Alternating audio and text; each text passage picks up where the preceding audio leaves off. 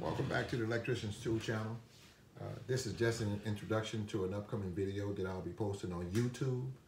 Uh, for, um, and if you're interested in any one of these meters here, I'm gonna leave a link at the bottom of the page that uh, you, you, can uh, leave um, if you wanna obtain one of these meters.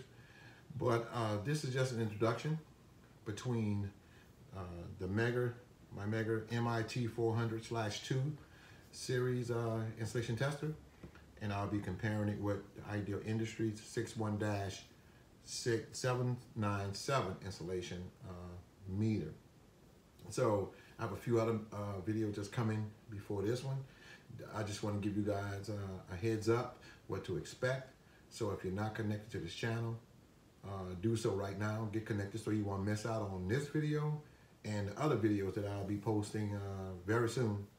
And um, you know, if you want to just you have a comment, leave it about this this tester right here, the, uh, the Megger, or you have a comment about the Ideal, or any one of the testers or tools that I uh, have on my channel that I'm reviewing, feel feel free to leave a comment. Uh, give me a if I don't answer you right away, give me a day or two. Uh, you know, give me a day, you know, to to to, to reply.